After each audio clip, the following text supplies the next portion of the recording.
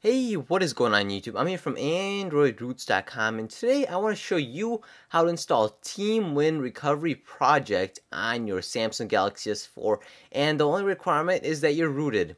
Now before we actually begin this video, I want to I just want to show you that I'm actually running on uh, non I'm not running on TeamWin Recovery.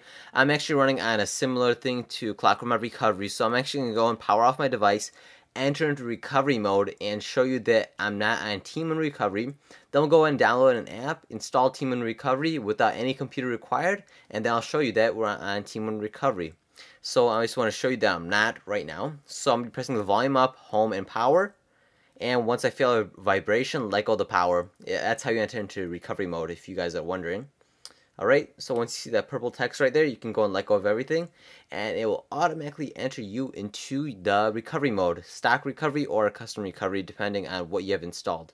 And yes, this will actually work on your locked bootloader, so the Sprint and Verizon users, um, it will work. So as you can see, I'm using a modified type of modified uh, Clockwork Mod Touch recovery, so it is like that. And you have a little penguin right there too, so uh, like I, am telling you right now, um, this is not TeamWin Recovery. So let's go and reboot our phone, install um, TeamWin Recovery project, and then uh, let's get started. So I'll be right back after this reboot. Alright, so like I mentioned earlier, the only requirement for Galaxy S4 is that you actually just have to be rooted. So as, as long as you get SuperSU or Super User Permission when you open Titanium Backup or any other root app, uh, that means you're rooted and that's all you have to have. You don't have necessarily have to have a custom recovery on your Galaxy S4 device. So what you're going to be doing is going to tap on Play Store and go and search right here in the little search bar right here, search Goo Manager. So G-O-O space Manager, M-A-N-A-G-E-R right there. So it's the first one, Goo Manager. And I already have it installed, so just install it. It's a 100% free app, so I'm just going to tap open.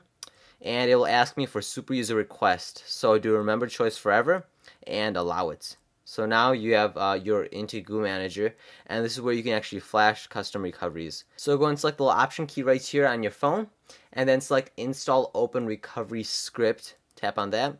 And it says, are you sure you would like to do this? This will download and write a recovery image to your device. So select yes.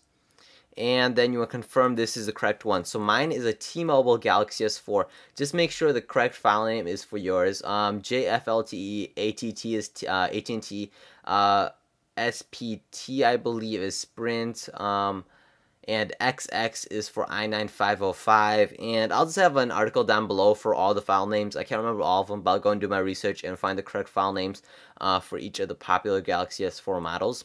So this is the correct one, JFL, JFLTE TMO, so that's T-Mobile, so select yes. And now it's going to go and download it and install it. So it just says please wait because we have to go to the downloading process. So give it 5 seconds now, uh, out of 10 seconds and then after that we're to go and download it and it'll automatically flash it. And then we'll go and uh, install it. So now on the top it'll say right here downloading. So your ongoing notifications right here. Just a few more seconds. And in the recent years team TeamWin Recovery um, custom recovery has become pretty darn popular. So that's pretty cool. And right there as you can see recovery has been installed. Boom. So you're done. That, that yeah it was that simple as long as you're rooted, it was that simple. So now we're actually going to tap on reboot and recovery, and it's the same process of install going into custom recovery or stock recovery. So we're going to select reboot recovery and select yes. And now this will be a different look. It's going to say team win when we first boot up. That's fine. Don't worry about the super user has failed. It does that. And now it's going to boot up and it's going to look real nice. And it's going to have those square blocks, the blue ones. So I just want to show you, as you can see, you get the blue text just like before. And in a few seconds, we'll be on Team Win Recovery. Boom! There we are, Team Win. Like I said, super easy to do, very, very efficient and safe to do. And if you're wondering on installing Clockwork Mod Recovery on your Galaxy S rooted device, you can just go and install ROM Manager and you can do Clockwork Mod Recovery as well. So you have options. You know, let me go and show you that. You have uh, options for install, wipe, backup, restore. So same options as your Clockwork Mod Recovery if you're running on Clockwork Mod Recovery. Um, but it has more features and easier options if you prefer this or not. You know, you got your home and back too, so it's a lot easier to do. Um, so I can you know go to install and then tap back if I want. It works 100% as long as you install the correct custom recovery for your specific model for your Galaxy S4. But that is how you install TeamWin uh, Recovery project on your Samsung Galaxy S4. If this video did help you out, please don't forget to like this video and consider do subscribing to this YouTube channel as I do only post videos for all Android all the time. So if you are an Android fanatic like me or if you just watch Android videos occasionally, it's going to be a great channel for you because I have tons of tips not for just Galaxy S4 but a lot of videos in general, you know, general tips, hacks and more, you know, for Android in general too.